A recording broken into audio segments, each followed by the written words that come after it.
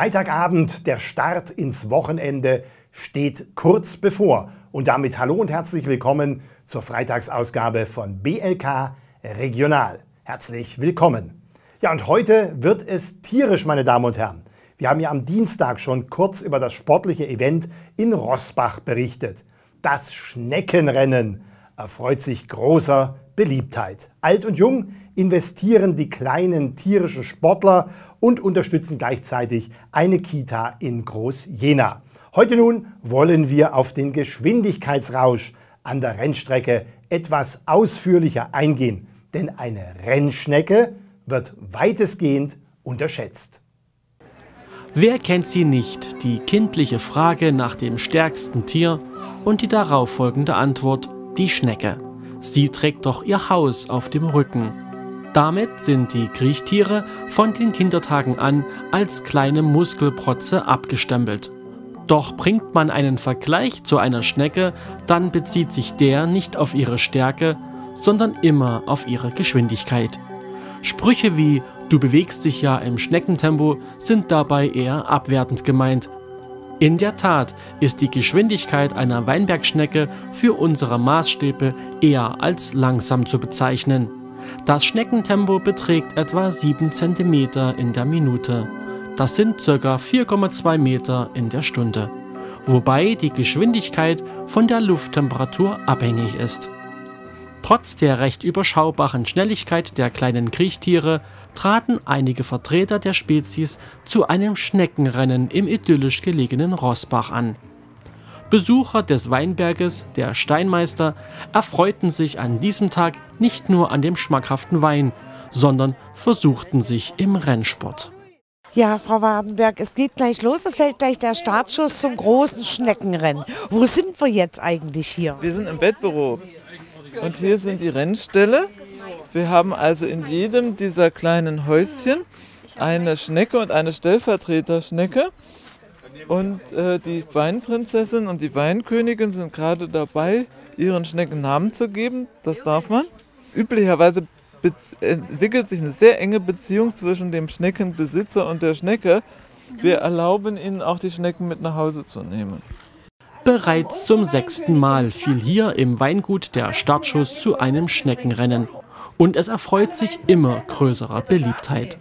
Besonders die Kinder sind von der Veranstaltung begeistert.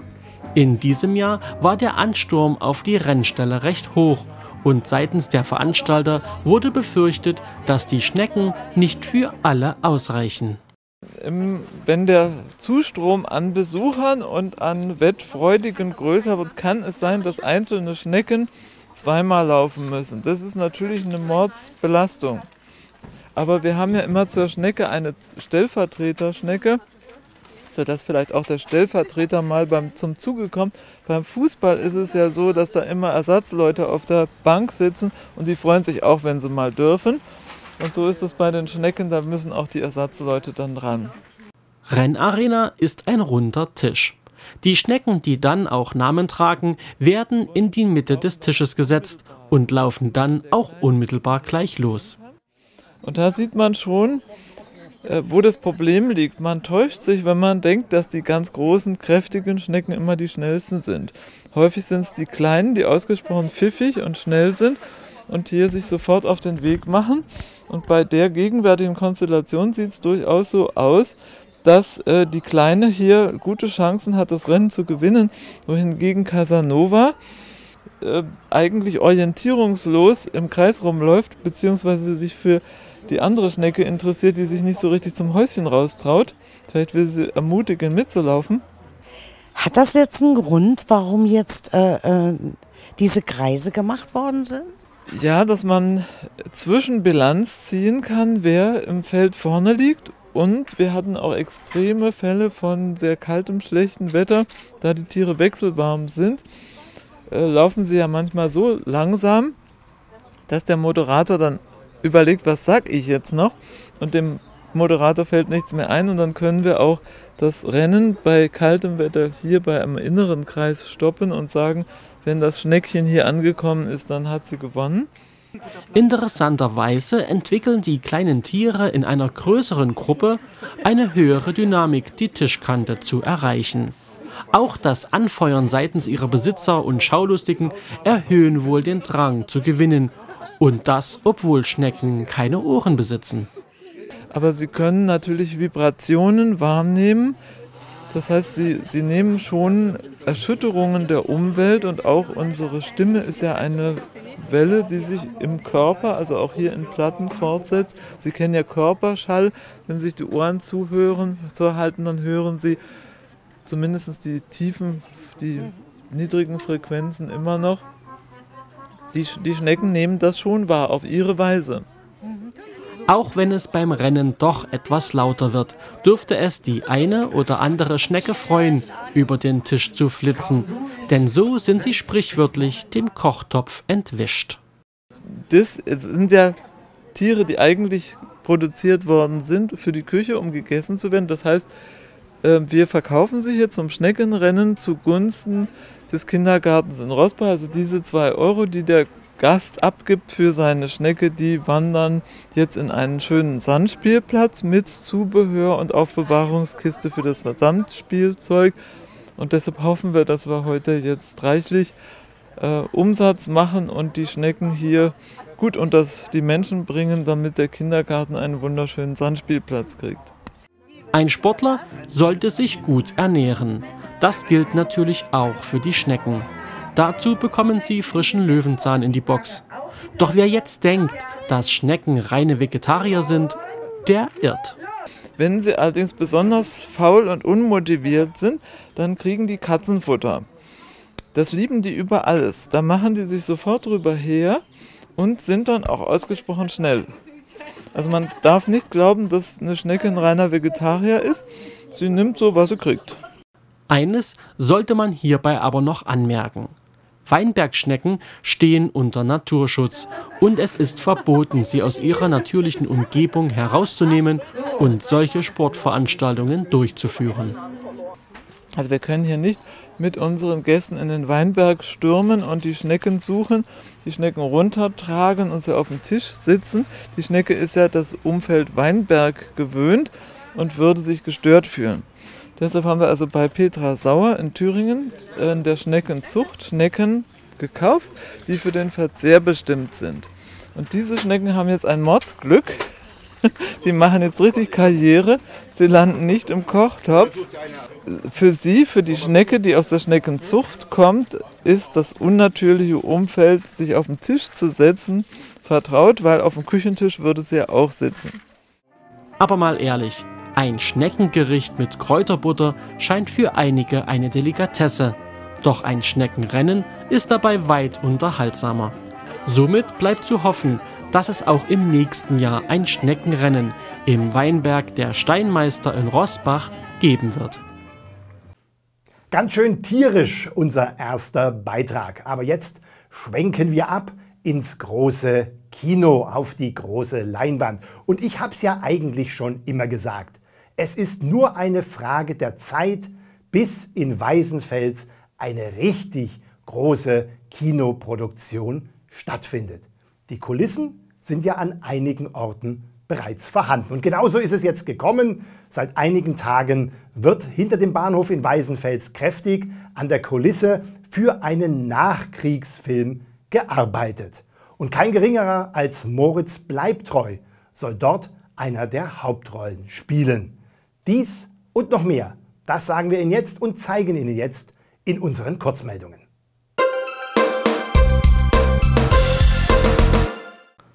Weißenfels wurde für die große Leinwand entdeckt. Nächste Woche beginnen die Dreharbeiten, vermutlich zu einem Nachkriegsfilm.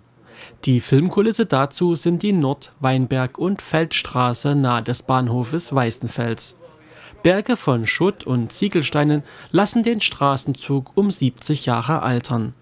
Seitens der Produktionsfirma gibt es noch keine offizielle Verlautbarung, um welche Produktion es sich hierbei handelt aber die Gerüchteküche kocht.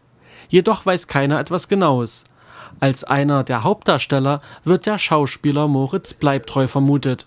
Jedoch wurde das noch nicht bestätigt. Am nächsten Mittwoch soll es dazu offizielle Informationen geben.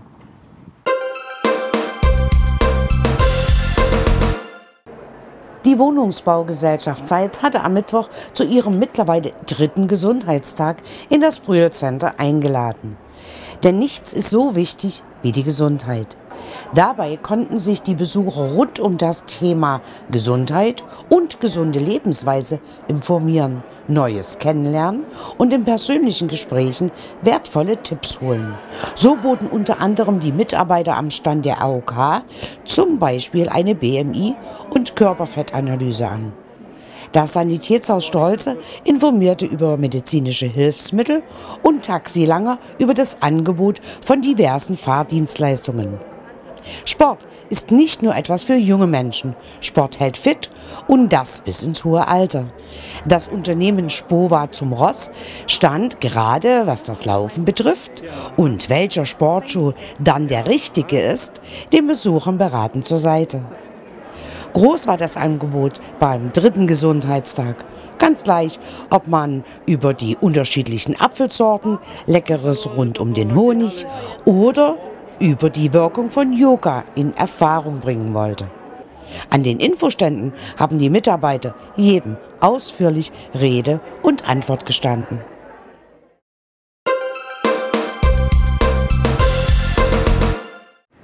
Im Zeitzer Geschwister Scholl Gymnasium gibt es im Lehrplan eine sogenannte Lernwerkstatt.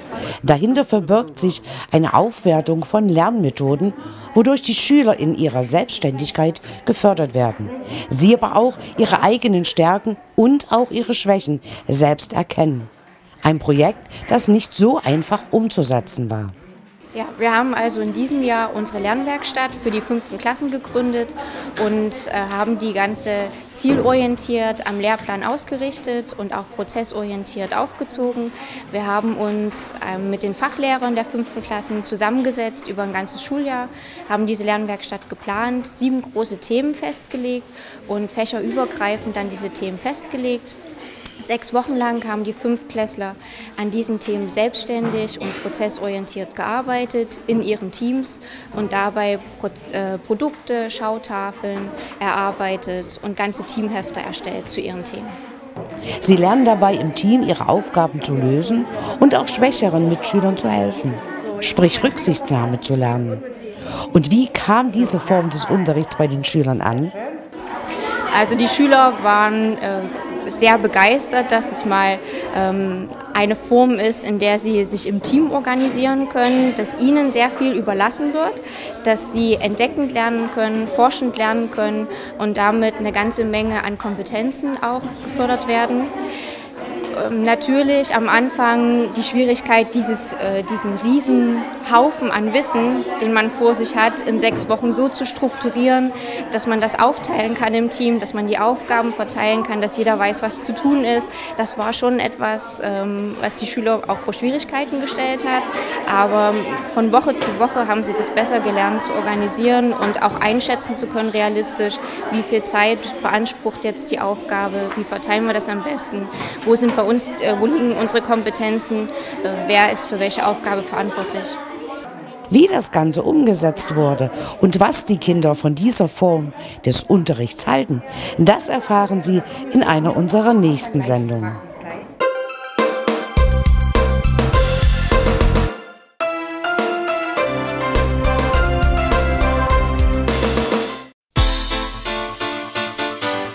Startfrei!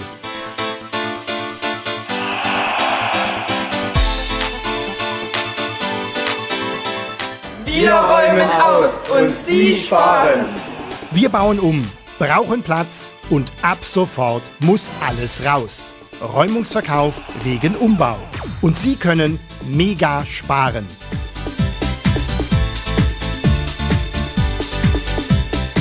Wir freuen uns auf Ihren Einkauf im Medimax Zeit.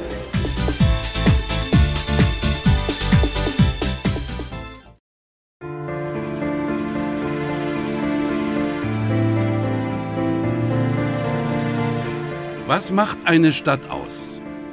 Straßen, Gebäude, Plätze?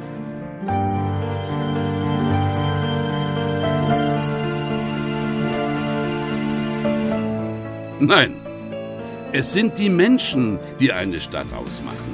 Das Leben, das Miteinander, die Vereine.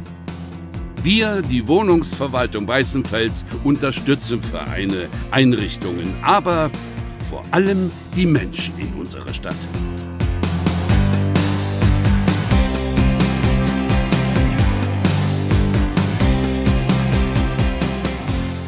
WVW. Mehr als Wohnen. Feiern Sie mit Ihrem Autohaus Kittel am 21. Mai den Autofrühling im Einkaufszentrum Schöne Aussicht Gleislingen. Erleben Sie mit Moderator Andreas Drillhase die neuesten Modelle von Volkswagen, Audi und Skoda. Der große Autofrühling im Einkaufszentrum Schöne Aussicht in Leisling. Kommen Sie vorbei und statten Sie dem Stand von Autohaus Kittel samt Bühne einen Besuch ab. Wir freuen uns auf Sie!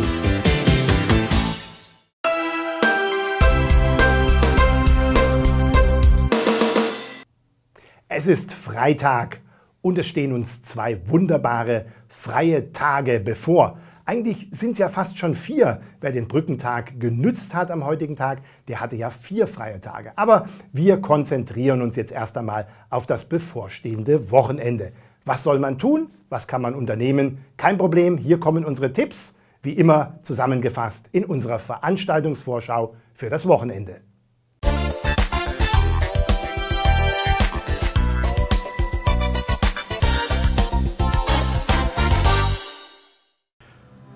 Zum 19. Mal öffnen die deutschen Sektkellereien anlässlich des Deutschen Sekttages ihre Tore, um Einblick zu geben in die interessante Welt des Sektes. Auch die Rotkäppchen Sektkellerei feiert am 7. Mai ab 12 Uhr den 19. Deutschen Sekttag. Dabei werden Ihnen Fragen rund um das prickelnde Thema Sekt wieder kompetent und sympathisch vom Team des erfolgreichsten deutschen Sekthauses beantwortet unterschiedliche attraktive Programmpunkte für große und kleine Gäste, facettenreiche Sektspezialitäten zum Verkosten sowie pikante und süße kulinarische Leckereien für jeden Geschmack erwarten alle Sektliebhaber in Freiburg. Höhepunkt des Tages ist um 20 Uhr der Auftritt von Johannes Oerding im Lichthof der Rotkäppchen Sektkellerei. 2015 war sein Jahr. Zwar ging es für Johannes Oerding in den Vorjahren auch schon konsequent in Richtung oben, jedoch dürfte dieses Jahr so ziemlich alles toppen, was er bisher in seiner Karriere erlebt hat. In diesem Jahr hat er mit seinem vierten Studioalbum Alles brennt sein bisher erfolgreichstes Album veröffentlicht. Zum ersten, zum zweiten und zum so heißt es am Samstag, den 7. Mai, bei einer Fundsachenversteigerung in Weißenfels. Die Besichtigung der Fundsachen ist vor Ort ab 9 Uhr möglich. Es werden Fahrräder, Schmuck, Werkzeug und andere nützliche Gegenstände versteigert. Die Einstiegsgebote liegen zwischen 1 Euro und 30 Euro. Wer am meisten bietet, bekommt den Zuschlag. Fragen und weitere Informationen erhalten Sie unter 03 443 37 03 60 oder 03 443 37 03 70. Versteigerungsbeginn ist um 9.30 Uhr. Am Samstag, den 7. Mai, können Sie im Leislinger Einkaufszentrum Schöne Aussicht die Cappuccinos live erleben. Die Band war 2015 mit ihrer neuen Single Roseanne auf Platz 58 in den Singlecharts eingestiegen und das neue Album Zusammen stark platzierte sich 2015 dauerhaft in den Top 50 Albumcharts. In diesem Jahr finden Konzerte der Cappuccinos am Samstag, den 6. August um 19 Uhr im Schloss Skopau im Rahmen der Messe Lebensart und am Sonntag, den 7. August um 15 Uhr in der Reiterstube Naumburg-Main statt. Karten für die beiden Konzerte können Sie am 7. Mai zur Autogrammstunde erwerben. Die Bestände des Naumburger Domstiftsarchiv und der Naumburger Domstiftsbibliothek zählen zu den kulturhistorisch bedeutendsten in Sachsen-Anhalt und sind von internationalem Rang. Die hier versammelten Schriftzeugnisse, wie zum Beispiel Urkunden, Kopialbücher, Aufspürtafeln und Inkunabeln, stellen ein Herzstück der historischen Überlieferungen Sachsen-Anhalts dar. Die Vereinigten Domstifter bieten allen interessierten Gästen die Möglichkeit, jeden ersten Samstag im Monat von April bis Oktober im Rahmen einer öffentlichen Führung diese bedeutenden Kunstschätze im Obergeschoss der Klausur des Naumburger Domes zu besichtigen. Beginn ist am Samstag, den 7. Mai um 13 Uhr.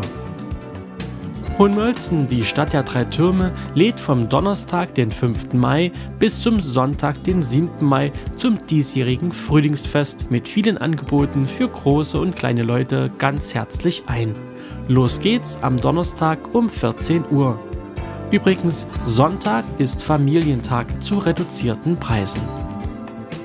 Das Sporthaus FC Röder in Freiburg lädt auch in diesem Jahr wieder zu einem Fußballcamp ein. Das sportliche Event findet vom 10. bis zum 13. Mai unter dem Motto Dribbeln, Tricksen, Tore schießen statt. Es werden wieder vier erlebnisreiche Ferientage für Mädchen und Jungen im Alter von 5 bis 15 Jahren sein. Nähere Informationen über Kosten, An- und Abreise sowie den gesamten Verlauf erhalten Sie unter www.fcröder.de oder unter der Telefonnummer 034464 36696 oder per Mail info at fcröder.de. Am letzten Tag findet eine Mini-WM als Camp-Turnier mit anschließender Siegerehrung statt. Alle Eltern, Geschwister, Großeltern und Freunde sind dazu herzlich willkommen.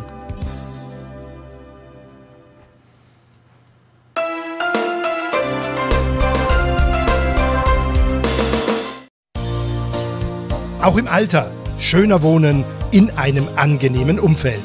Wohnbau Theissen bietet Wohnen mit Ansprache und Geselligkeit in der neuen Begegnungsstätte Pekinger Straße in Zeitz.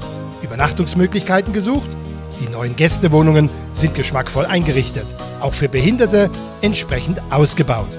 Wohnbau Theissen, Weißenfelser Straße 6 in Theissen.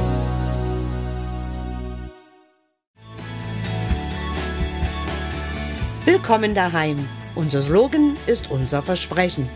Wir sind ein Passelstein in Ihrem Leben und haben das facettenreichste Wohnungs- und Gewerberaumangebot in der Elsterstadt.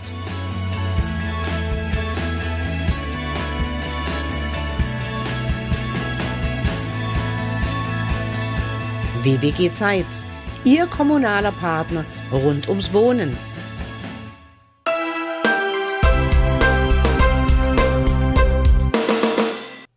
Die MIBRAG ist einer der größten Arbeitgeber in unserer Region und ist nicht nur für Braunkohleförderung und Energiegewinnung verantwortlich.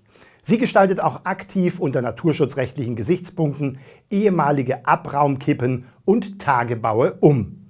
So bekommen mehrere hunderte Amphibien ein neues Zuhause. Wir waren bei der Umsiedlung der Vierbeiner mit der Kamera dabei.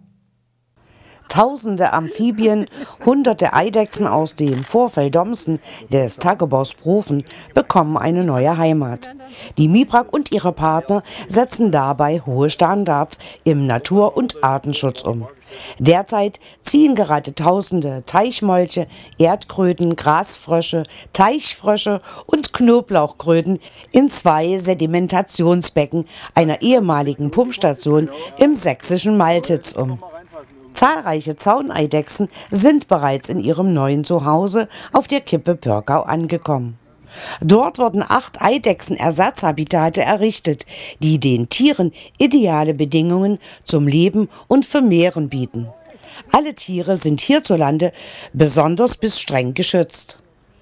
Bereits seit März 2016 werden die Amphibien aus einem Weiher auf dem Gelände der ehemaligen Ortslage Großgrimma bei Hohenmölzen und aus dem Becken Bösau, einer ehemaligen künstlichen Wasserhaltung, abgefangen. Denn Mitte des nächsten Jahres soll hier das erste Großgerät von Schwerzau nach Domsen umsetzen. Soll heißen, dann beginnt die Arbeit zur Förderung der Braunkohle. Aber wenn man hier beginnt, kann hier trotzdem immer noch äh, nach Tieren geschaut werden. Die Möglichkeit besteht natürlich. Diese Lebensräume sind in der Form ja vorhanden und wir sind ja auch dabei mit unseren begleitenden Ingenieurbüros, die diese Dinge des Artenschutzes hier bearbeiten, ständig im Vorfeld nach weiteren Arten zu suchen bzw. deren Entwicklung zu verfolgen. Wer ist jetzt hier äh, alles mit beteiligt dran? Nach Bundesnaturschutzgesetz darf ich also auch Tiere nicht ohne weiteres fangen, sondern ich brauche eine Ausnahmegenehmigung. Das kann ich nur über die Behörden erlangen. Wir haben Ingenieurbüros, die, den, die die Erfassung durchführen der Arten, also die Bestandsaufnahme und die Kartierung. Wir haben Ingenieurbüros, die die Planung der Ersatzhabitate vornehmen. Das heißt also, ich muss Ersatzlebensräume schaffen innerhalb der Bergbaufolgelandschaft oder in benachbarten Regionen. Das muss geplant werden. Wir haben die Firmen, die dann die Umsiedlung vornehmen, also auch Ingenieurbüros letzten Endes, die in dieser Form wirksam werden. Und diese Ersatzmaßnahmen müssen natürlich auch umgesetzt werden. Also es braucht eine Baufirma, die letzten Endes die Ersatzhabitate für Zauneidechsen, für die Amphibien herstellt. Das ist im Wesentlichen unsere Gala Mipak Service GmbH, also eine hundertprozentige Tochter der Mipak, die für uns diese Arbeiten ausführt. Es gehören noch mehr dazu. Wir haben gehört, Kampfmittelbeseitigung sind also die Firmen hier im Einsatz. Wir haben die Archäologen im Einsatz. Es ist also ein weites Spektrum an, an äh, Fachgewerken, die hier wirksam werden, bevor das überhaupt in Angriff genommen werden kann.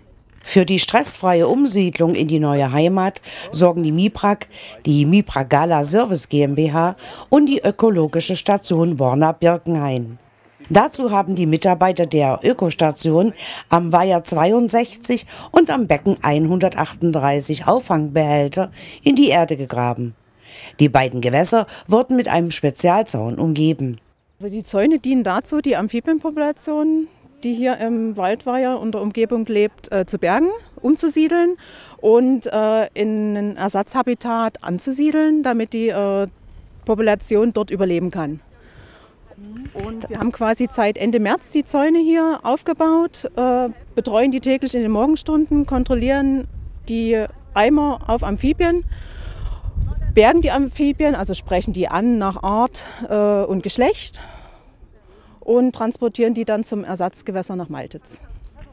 Wie lange soll das jetzt äh, dauern, das ganze äh, Projekt? Also dieses Jahr haben wir Ende März angefangen, haben jetzt jeden Tag kontrolliert, werden äh, in den nächsten Tagen den Zaun erstmal deckeln quasi eine Fangpause machen und dann geht es aber äh, im Juni, Juli, August äh, wochenweise weiter, weil die Tiere ja auch im Sommerlebensraum hin und her wandern und wir dann die Möglichkeit haben, so viele Tiere wie möglich abzufangen. Auf der nahen Kippe Pörgau zwischen Hohenmölzen und Nonnewitz gelegen, kreucht und fleucht es schon seit dem vergangenen Jahr. In dem Tümpel, der von Orchideenwiesen umrahmt wird, fühlen sich die bereits umgesiedelten Amphibien wohl und sorgen für Nachwuchs. Ihre Nachbarn, etwa 450 Zauneidechsen, haben insgesamt acht Eidechsen-Ersatzhabitate bezogen. Die Habitate hat die Miprag Gala Service GmbH im Auftrag von der Miprag unter fachlicher Begleitung der Ökostation Borna-Birkenhain errichtet. Von Weiben sichtbare Wälle aus Stein, Gehölz, Kies und Sand mit allen Schikanen vor allem wie Versteckmöglichkeiten, Überwinterungsgruben und Eiablageplätzen. In Sichtweite weidet meistens eine Herde zottig schwarzer Galloway-Rinder, die auf schwer zugänglichen verpachteten Mietparkflächen ganzjährig Landschaftspflege betreiben. Also angefangen wurde das äh, Beweidungsprojekt 2011 und äh, der Anfangsbesatz war mit sieben Kühen, einem Bulle und einem Kalb. Ja, und die Population entwickelt sich, sage ich mal, auf natürliche Art und Weise. Ja. Eine aktuelle Zahl haben wir jetzt leider nicht. Aber Heute wird keine Kohle mehr gefördert, ohne die Landschaft wieder nutzbar zu machen und die Einschnitte in die Natur bestmöglich zu kompensieren. Es ist inzwischen selbstverständlich, dass die Betriebsabläufe im Tagebau mit den Belangen des Natur- und Artenschutzes harmonisiert werden. Aufgabe und Herausforderung von der MIBRAG ist es, geschützte Tier- und Pflanzenarten auch in der Bergbaufolgelandschaft eine Heimat zu geben.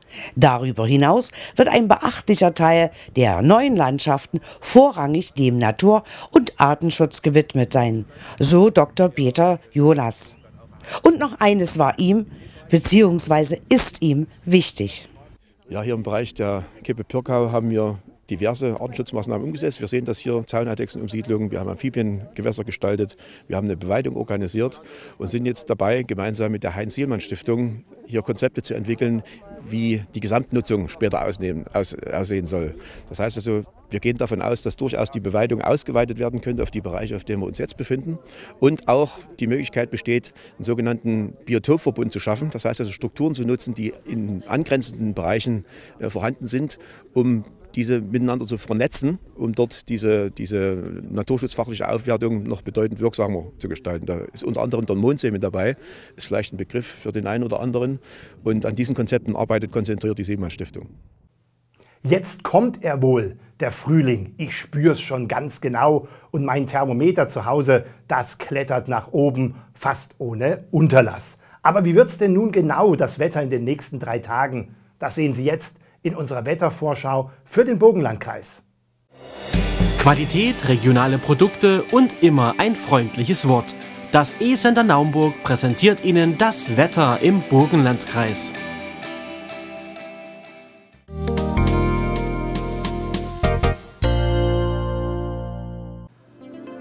Am Samstag scheint bei nur wenigen Quellwolken sowie schwachem bis mäßigem Ostwind die Sonne.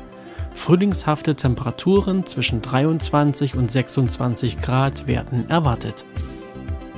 In der Nacht zum Sonntag ist der Himmel klar. Die Tiefstwerte liegen zwischen 10 und 8 Grad. Der Wind weht dabei weiterhin nur schwach aus östlichen Richtungen. Am Sonntag bleibt der freundliche, frühsommerliche Wettercharakter bei viel Sonnenschein bestehen. In den Mittagsstunden bilden sich jedoch einige Quellwolken und am Nachmittag und Abend besteht ein geringes Schauer- und Gewitterrisiko. Bei Höchstwerten von 23 bis 25 Grad weht ein mäßiger und böiger Ostwind. In der Nacht zum Montag ziehen gelegentlich Wolkenfelder durch, mehrfach ist es aber auch wieder klar. Anfangs sind kurze Schauer nicht ausgeschlossen. Die Temperatur sinkt auf Werte zwischen 10 und 7 Grad. Dabei weht weiterhin schwacher Wind aus östlichen Richtungen. Und auch in der neuen Woche geht es mit dem frühsommerlichen Wetter weiter. Die Quecksilbersäule klettert am Montag wiederum bis auf 24 Grad.